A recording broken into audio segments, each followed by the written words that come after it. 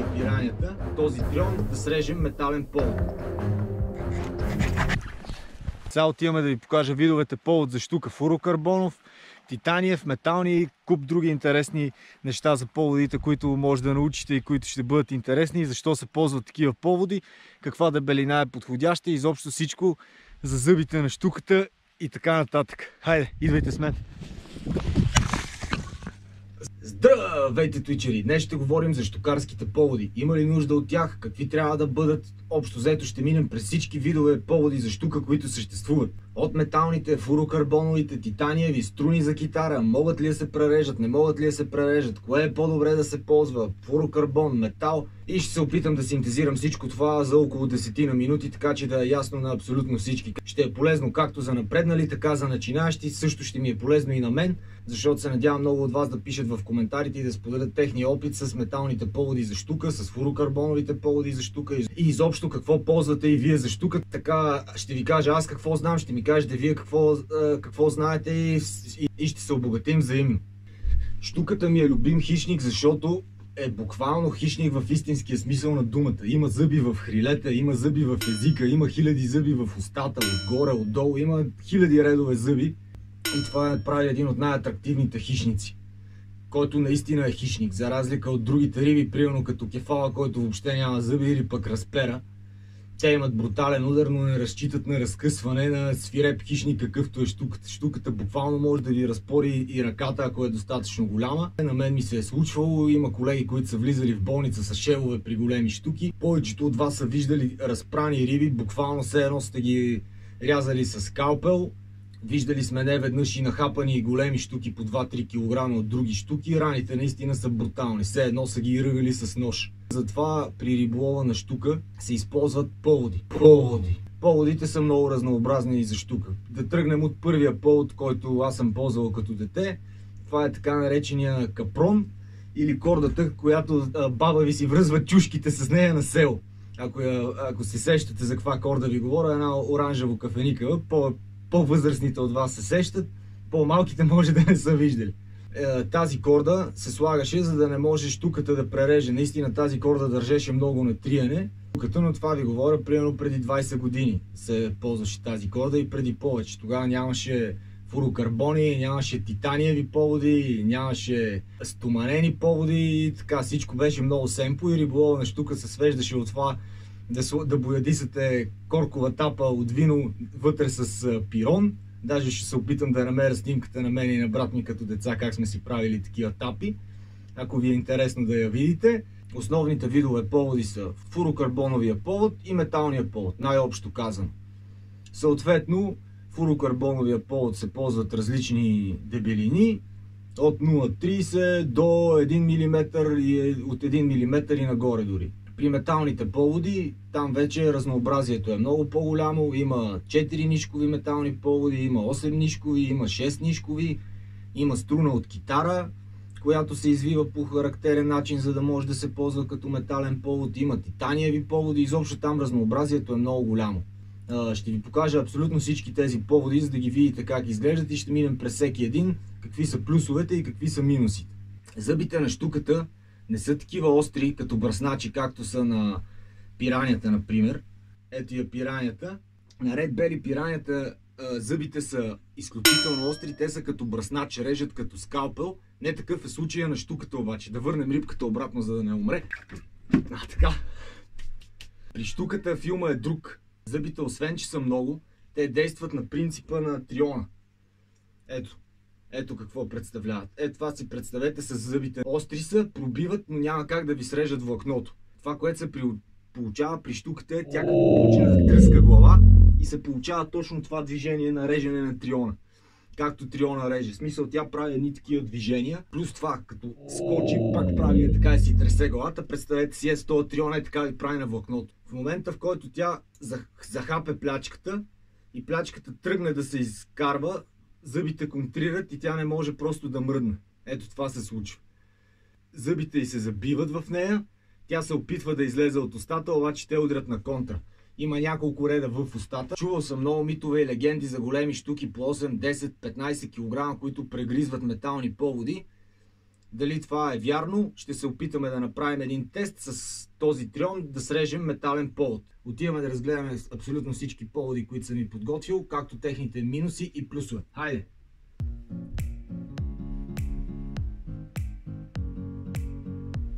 Сега ще разчистя целият този хаос, за да може да минем през всички поводи един по един. Така. Първия повод, който е най-често срещан и който може би всички от вас са виждали, този китайски зелен повод. Повода не е лош, но има няколко слаби места, които мен лично ме притесняват. Първо, това е ето тази карабинка. Виждате тук каква е тая пластинка. Тая пластинка се чупи и може да ви предаде в даден момент и да изгубите риба именно заради нея. Другата слаба част на поводите, която аз не харесвам, са ето тези неща. Ако сте го ползвали доста пъти, може да е ръждясъл, погъване примерно 2-3 в някакъв твърд или в закачка. В закачката, ето, какво се случва, изпускате риба от глупост, защото не сте си сменили това или някаква закачка се е изкривил. Другото, което е, че лесно се мачка. Значи, ако купувате такива зелени поводи, защото те са най-ефтини, просто махайте тези пластинки изцяло. Виждате колко лесно се огъва и тя се чупи след време. Махайте и оставайте само повода.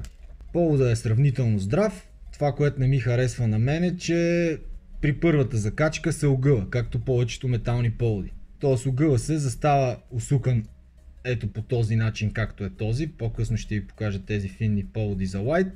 И след като един повод се изкриви по този начин, той вече не, не ви върши работа. Особено ако работите с лайт примамки, такива по 5, 6, 10 грама, защото не стоят естествено. В смисъл, тя самата тежест на примамката не може да го изпъне когато се паузира и не стои естествено. Толкова за зелените китайски поводи, те са най-разпространените. Казах ви къде са им слабите места и какво трябва да промените при тях, за да може да си ги ползвате. Други такива поводи, които са една идея по-скъпи. Този мисля, че е между 30 и 50 стотинки зеления, зависимост от дължината. Този мисля, че не, този не е китайски, този е на Бъркли, доста по-здрав, но пак на същия принцип. Само, че тук вече виждате каква е разликата между карабинките. Доста по-силна и здрава е тази карабинка, която се усеща и на като се опитам да я смачкам. И самия повод е много по-здрав и навиването също е по-здраво, както и халката.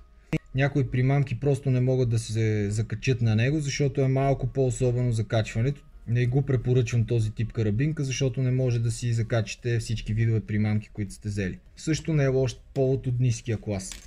Лично аз най-често ползвам фурокарбоновия повод. Става ли въпрос за дребни штуки? Със сигурност предпочитам фурокарбоновия повод и ще ви кажа защо. Някой казва, че няма абсолютно никакво значение от повода. Когато рибата е гладна, тя взима на всичко. Не е точно така. И ще ви кажа как аз лично си промених мнението за това нещо. На панчарел, докато ловях риби, виждах как ми следват при мамката дребни штуклета. На металния повод не искаха да го взимат, спираха се до него, оглеждаха го на паузата, махнах металния повод, останах само с фурокарбон и веднага го взех. Това за мен е показателно и това се повтори няколко пъти. В бистра вода, когато рибите са мнителни, вие паузирате, искат бавна проводка, те се оглеждат, щом дори бебетата го виждат и се усещат, значи наистина работи фурокарбоновия повод. Какво представлява фурокарбоновия повод? Той е като монофила, почти едно към едно на визия, обаче пречупва светлината по такъв начин, че става невидим във водата. Това не случвало ми се е да ловиме на Дунава няколко човека този до мен хваща две риби, аз хващам 10 риби. Ставаше въпрос за дребни штуклета, които не трябва да са претенциозни. Ловиме с едни и същи тъкъми, една и съща дебелина плетено въкно и една и съща примамка, шорт бил. Това, което е, той държи повече на триене от монофила. Ако попадне в зъбите на штуката, той ще издържи повече от монофила. Но за съжаление, малко разчитате на късмет с този фурокарбон или поне с тази дебелина. Ето какви дебелини използвам аз. Единия е 30 либри, другия ми е 15 либри. Има супер здравина, но попаднали в зъбите, това няма да ви спаси дори от штукле 7-800 грама може да ви прегризе хора. Тогава разчитате изцяло на късмет, просто залагате на повече бройки. Ползвал съм и пол от 0,50, штука 2 кг ми го е прегризвала като топъл хляб. Та ако решите да ловите с фурокарбонов повод, но пък искате да сте 100% застраховани, тогава тези дебелини не са за вас тогава увеличавате и ловите с единица. Виждате каква е разликата между това, което ползвам аз и този другия. 10 пъти отгоре. Ето го, по същия начин е кримпнат, както металните поводи. Обаче с този повод вие трябва да ловите само с джъркове или с големи примамки, тежащи 40, 50, 60, 80 до 100 грама. Няма как да ловите а, с такива воблерчета, които са по 10 грама. Тук ви трябват и клещи, за да си отворите карабинката. Даже не мога и да я отворя.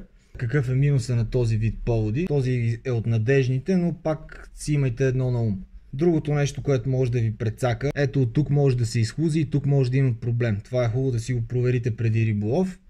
И минуса на този тип поводи, които ви показах до момента е, че те се гънат. При първата закачка повода се гъне и вече не е годен за употреба. Поне аз не бих ловил с такъв повод. Този пак е, що годе добре бих го използвал още няколко пъти, но като се нагъна още малко и стане на флонга, е неизползваем. Ето това е такъв многонишков метален повод. Виждате колко е мек и удобен. Супер готино поводче за лайт примамки, дори с а, примамки по 3-4 грама. Ето такива карабинки ползвам аз. Като тази. На тази лесно могат да се закачат абсолютно всякакви примамки без никакъв проблем. Теста с триона ще го направим накрая. Моля изгледайте цялото видео и не прескачите. Информацията ще ви е супер полезна. Тежестта на вирбела то увисва. Супер нежни са като монофил, докато този си стои като кол, като тел. Този е супер нежен и супер фин повод, който също издържа. Виждате колко лесно, колко лесно се мачка. Все едно сте си хванали монофилче, без никакъв проблем. Докато този е просто като тел. Вие го оставяте и той, и той не мърда. Нито ето как стои като струна.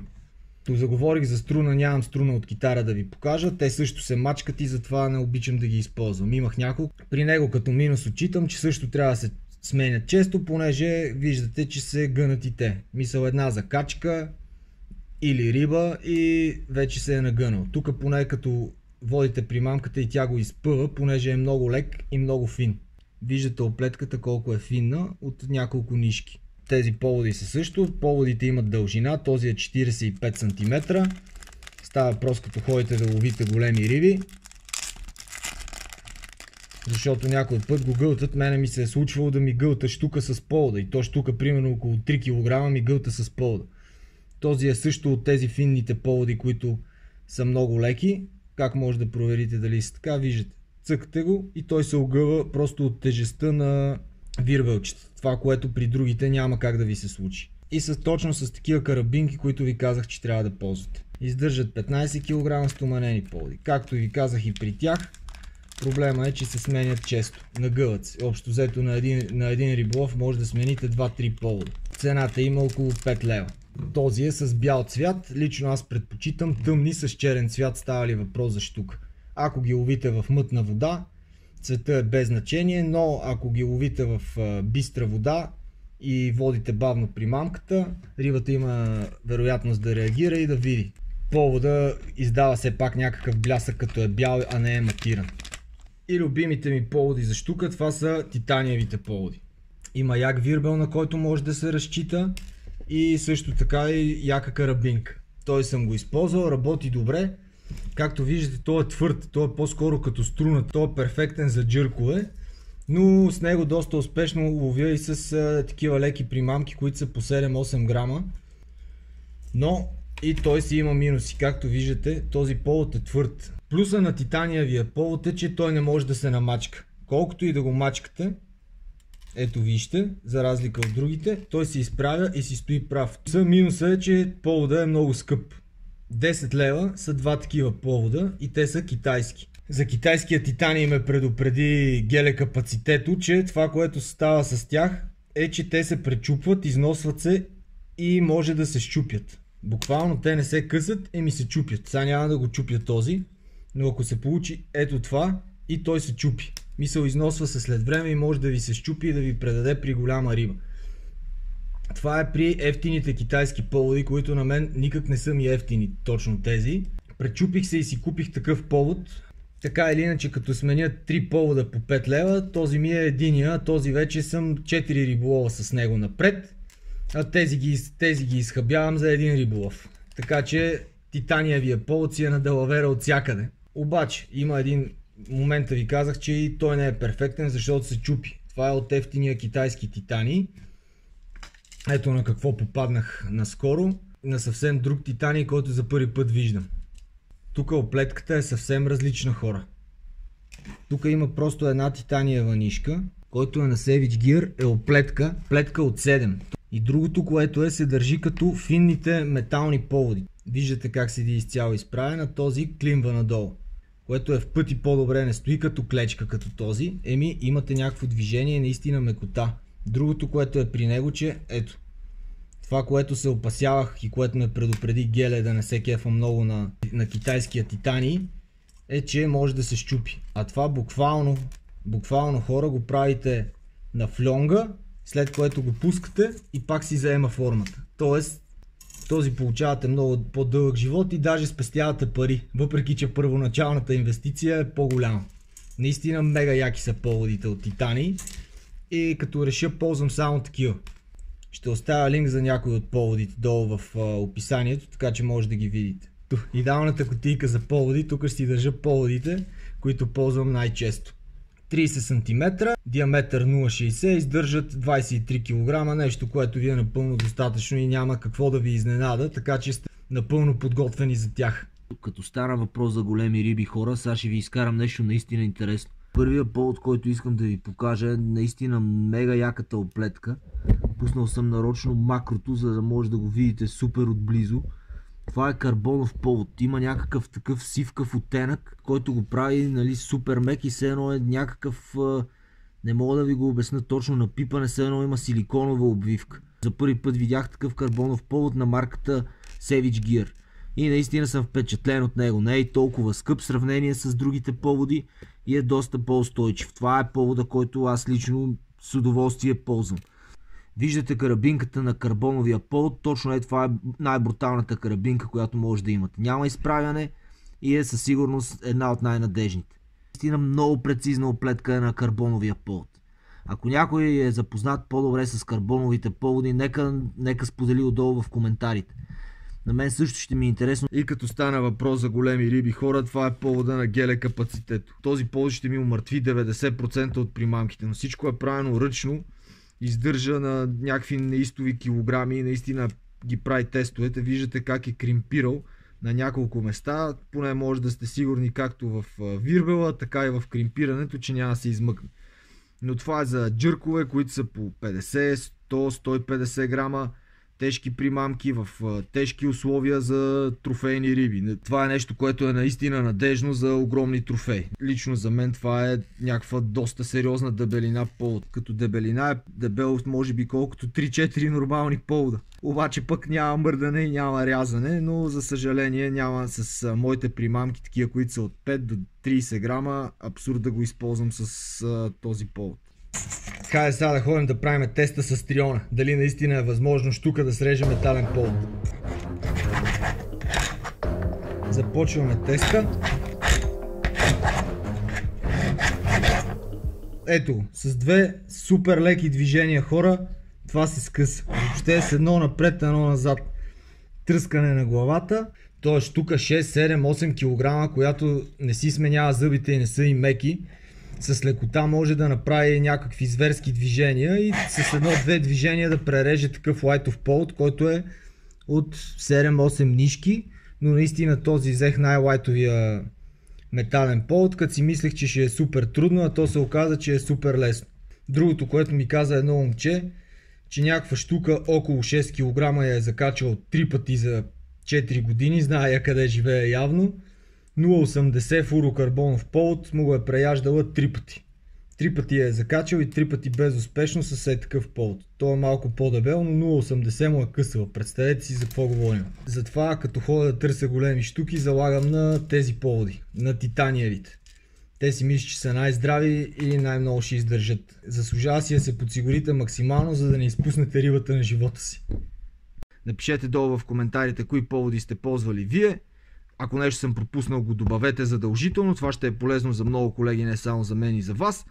И не забравяйте да натиснете subscribe бутона хора и камбанарийката. Е така и правете. Дънг, дънг, дънг, дънг, дънг. Надявам се да съм ви бил полезен. Чао, Twitch! Чао, Twitch!